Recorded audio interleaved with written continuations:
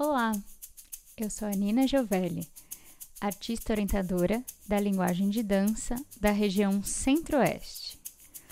Esse conteúdo integra as ações da edição 2020 do Programa Vocacional, da Secretaria Municipal de Cultura, em parceria com a Secretaria Municipal de Educação de São Paulo. A referência a obras de outros artistas tem finalidade exclusivamente educacional. Estou propondo práticas, procedimentos e experimentos voltados para instigar pesquisas e processos de criação, individuais ou coletivos. Para esse experimento, você vai precisar de papel, lápis ou caneta, celular ou câmera ou gravador de áudio e curiosidade para habitar os espaços da sua casa como se fosse a primeira vez. Pause o vídeo agora para providenciar esses materiais. Seguindo com a nossa investigação dos territórios, já temos outras duas orientações sobre esse assunto. Vou pôr os links na descrição. Agora, vamos para o nosso terceiro território, a nossa casa. Vamos tomar alguns minutos para lembrar os cômodos da nossa casa. Imagina cada um deles. Crie um mapa mental da planta da sua casa. Planta é a palavra que as arquitetas usam para um esquema como esse. Agora, dê novamente uma pausa no vídeo para lembrar e imaginar os cômodos e fazer um esboço da planta da sua casa. Pega lá o seu papel e a caneta. Agora, vamos pensar um pouco sobre estas perguntas. Como é possível ativar um lugar? Como você pode ocupar um espaço? De quais maneiras o seu corpo pode ficar? É possível espalhar-se, pular, correr, deitar, dançar, encolher-se, fazer sons? O que este espaço te provoca? sensações, memórias, ideias. Essas perguntas vão guiar a gente num experimento de improvisação. Mas, antes de tentar respondê-las com o corpo, eu queria trazer mais algumas reflexões e outras perguntas. O espaço que vivemos é constituído só por aquilo que vemos? E o que não vemos e também povoa o espaço? Como é para quem não enxerga? Além das paredes e objetos, os espaços também são povoados e delimitados por elementos não palpáveis, como o som, a luz e até mesmo regras e relações de poder. Por isso, hábitos e costumes variam de acordo com os lugares e a época. Podemos então imaginar alguns exemplos de coreopolítica. Entramos num território muito interessante para pensar a dança. Eu vou fazer um breve parênteses que vamos desdobrar depois nas próximas orientações e encontros. Coreopolítica é um conceito que tomei contato ao ler o artigo Coreopolítica e Coreopolícia, do escritor, curador e professor André Lepec. A coreopolítica requer uma distribuição e reinvenção do corpo, de afetos, de sentidos. É que toda a coreopolítica revela o entrelaçamento profundo entre movimento, corpo e lugar. Tem tudo a ver com o que eu quero propor como investigação nessa vídeo orientação. Você já parou para pensar que a sua presença pode alterar os espaços? Vamos deixar essa pergunta um pouco no ar. E mais uma vez, vou trazer o nosso amigo Jonathan Borros para a nossa conversa. Agora, um pouco do que ele diz sobre improvisação. Improvisação é um caminho de trabalho.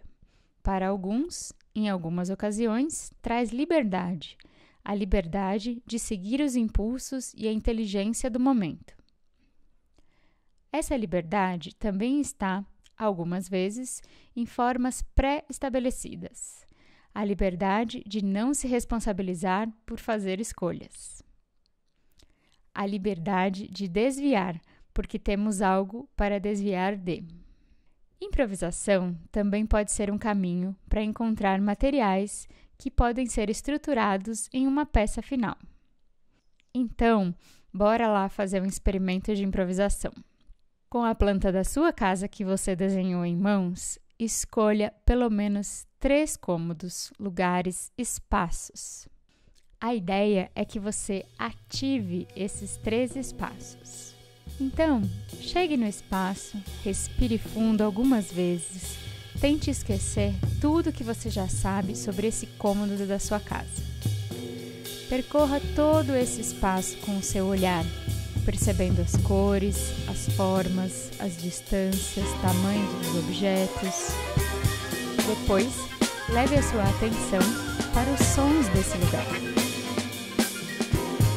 Em seguida, busque ativar esse espaço.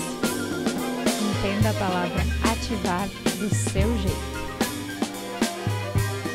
Ocupe esse espaço de diversas maneiras.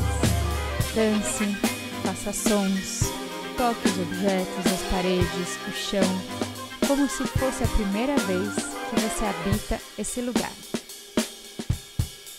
Vamos procurar responder com o corpo aquelas perguntas de antes. Como é possível ativar um lugar? Como você pode ocupar um espaço? E o que cada espaço te provoca de sensações, memórias, ideias? Você vai perceber que cada lugar sugere danças, humores e afetos diferentes. É importante que você registre de alguma forma através de vídeo, foto, texto, texto falado, como você quiser, a sua experiência em cada um desses espaços. Pause agora o vídeo para fazer os seus três experimentos de improvisação e a sua documentação. Segundo nosso amigo JB, trabalhar assim pode produzir materiais muito rápido. Entretanto, não é sempre fácil saber como usar o que encontramos. O uso da improvisação como modo de encontrar material está intimamente ligado ao modo de processo coreográfico que primeiro encontra coisas e depois decide uma ordem para colocar essas coisas, o modo copie e cole. Ele também nos lembra que improvisação é um modo de encontrar material. Improvisação não é o único modo de encontrar material. Copiar e colar não é o único modo de coreografar. Tente também não improvisar. E ainda nos provoca dizendo que improvisação é uma negociação com os padrões que seu corpo está pensando. Coreografia é uma negociação com os padrões que seu corpo está pensando. Então, te pergunto: qual é a sua maneira de criar material? E ainda, como você organiza ou não organiza esse material? Bora continuar pensando esses modos de fazer e acontecer. Registre seu processo, filme, escreva sobre, fotografe, desenhe, grave áudios. Eu vou adorar se você me mandar suas reflexões, imagens, vídeos, perguntas. Fazer perguntas é um modo de ativar lugares de criação.